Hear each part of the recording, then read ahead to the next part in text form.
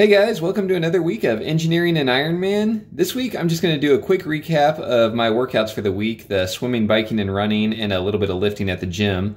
Um, if you haven't gotten a chance to check out my video from last week, I did a complete tour of the Ironman Tulsa run course.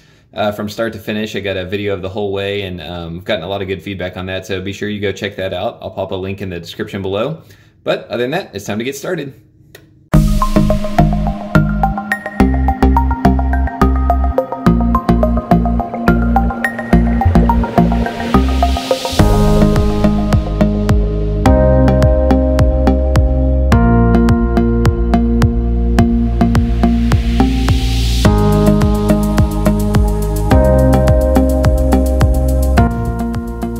So we've got some thunderstorms coming in here today in a little bit, so I'm gonna go ahead and go try to get my run in and uh, hopefully beat the storms back. So here we go.